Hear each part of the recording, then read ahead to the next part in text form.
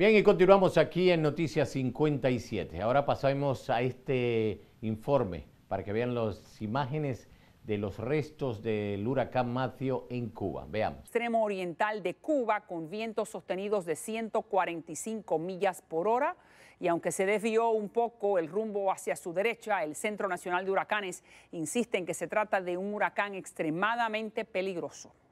Horas antes, Matthew había golpeado las zonas más pobres de Haití, dejando destrucciones, inundaciones y un saldo parcial de tres muertos a su paso.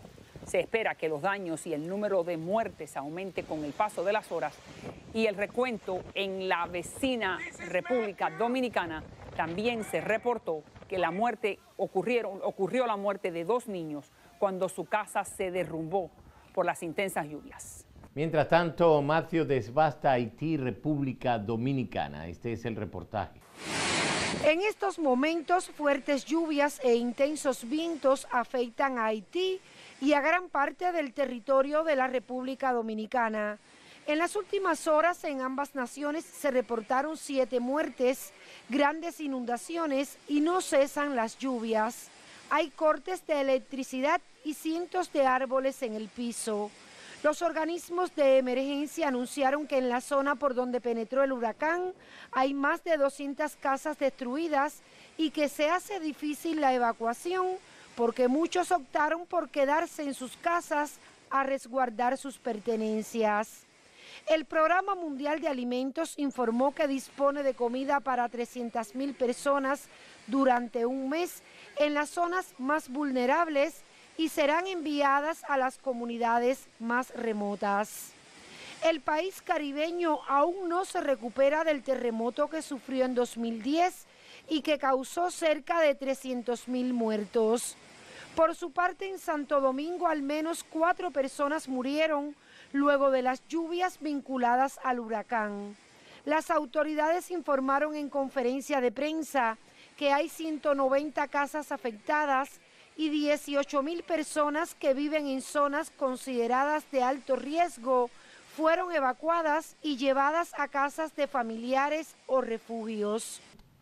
Bien, y el que pueda que se vaya antes, dice el gobernador de la Florida. La página web de Walt Disney eh, dijo que todos sus parques y balnearios funcionan actualmente bajo condiciones normales, mientras se vigila la tormenta. Aconsejaron a los que planeaban visitar sus parques a estar atentos a los boletines meteorológicos.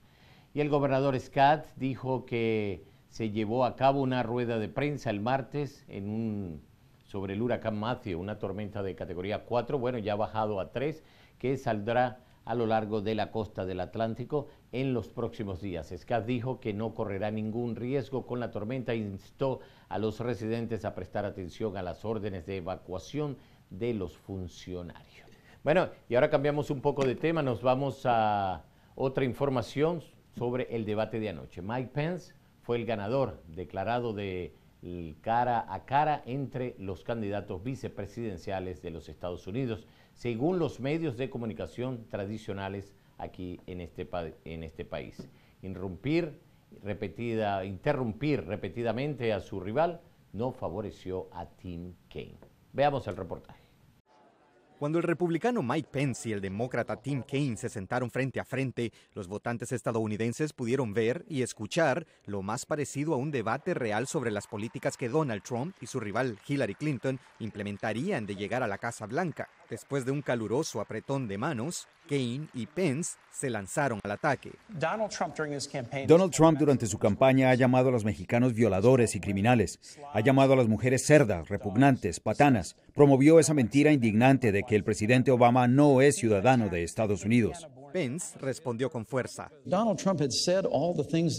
Incluso si lo que dices que ha dicho Trump fuera cierto, no representa ni una fracción de los insultos que Hillary Clinton ha hecho cuando dijo que la mitad de nuestros seguidores eran un grupo deplorable que no tiene remedio y que no representan a los estadounidenses.